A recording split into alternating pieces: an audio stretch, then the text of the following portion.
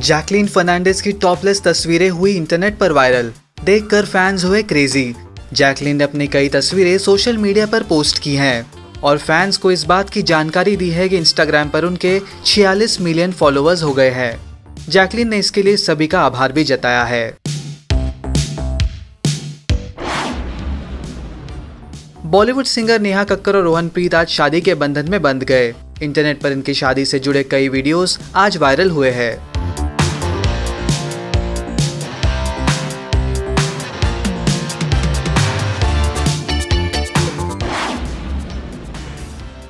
करीना कपूर खान ने एक इंटरव्यू में खुलासा किया कि जब सैफ अली खान को उनकी दूसरी प्रेगनेंसी का पता चला तो उन्होंने खुशी जताई और नॉर्मल रिएक्शन दिया। करीना ने यह भी कहा कि वो इसे साथ में सेलिब्रेट करना चाहते थे, लेकिन महामारी की वजह से सेलिब्रेट नहीं कर पाए।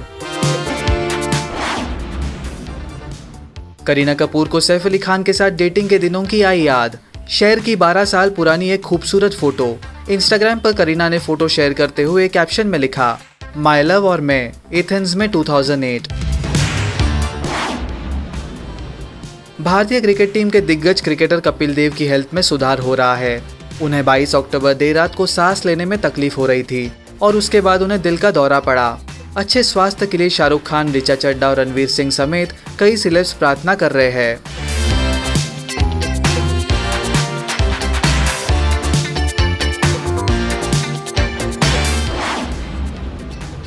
कंगना रनौत ने फिर एक बार महाराष्ट्र के मुख्यमंत्री उद्धव ठाकरे सरकार पर साधा निशाना। पत्रकारों के सपोर्ट में उतरी कंगना। दरअसल रिपोर्ट्स के मुताबिक, पुलिस ने मुंबई पुलिस के कथित तौर पर बदनाम करने के चलते रिपब्लिक टीवी के कुछ पत्रकारों के खिलाफ एफआईआर दर्ज की है। इस पर एक मशहूर जर्नलिस्ट के ट्वीट पर रिएक्शन देते हुए कंगना ने लिखा, कहा राजा भोज, कहा गंगू तेली। महाराष्ट्र के पप्पू प्रो के स्वनिर्मित महान नेता से क्या तुलना करना?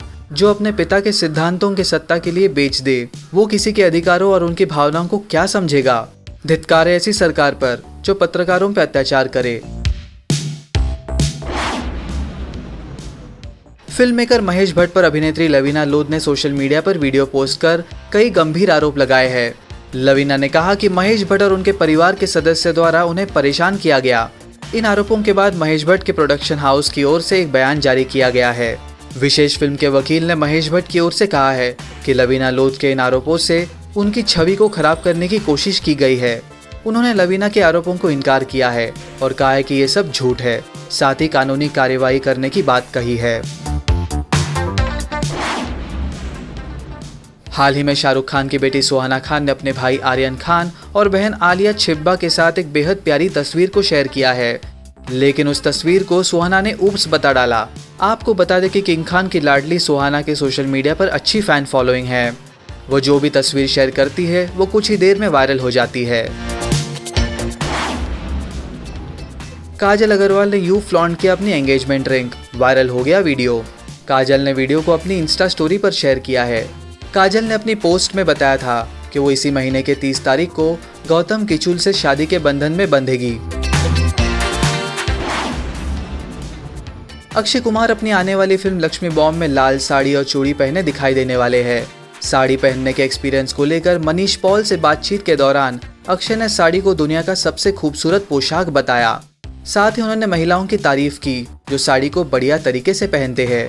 उन्होंने कहा कि खूबसूरत फीलिंग और प्रोसेस को महसूस करने के लिए सभी को एक बार ज़िंदगी में साड़ी ज़रूर पहनना चाहिए।